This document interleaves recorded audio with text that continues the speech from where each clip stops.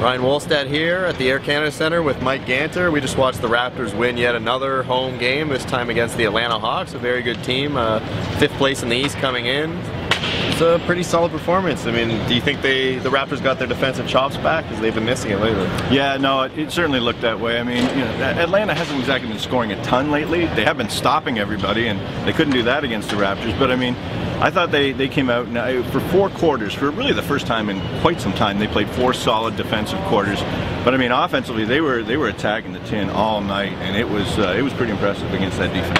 Yeah, like you said, the Atlanta came in scorching hot defensively, uh, giving teams a lot of problems, and the Raptors showed no fear at all. DeMar DeRozan really set the tone driving in. Kyle Lowry as well. There were times where they drove coast to coast, right around everyone for dunks or layups. Cory Joseph was really aggressive too, and even Terrence Ross even dunked in traffic, which uh, yes, never happened, and left poor uh, Dennis Schroeder in his Schroeder, dust. yeah, Herbie, you can stop that anytime now. Schroeder, yes. All right, that's about it. That's a wrap here at the Air Canada Center. The Raptors play the Miami Heat on Saturday night. For Postmedia and Mike Ganter, I'm Ryan Wolstat.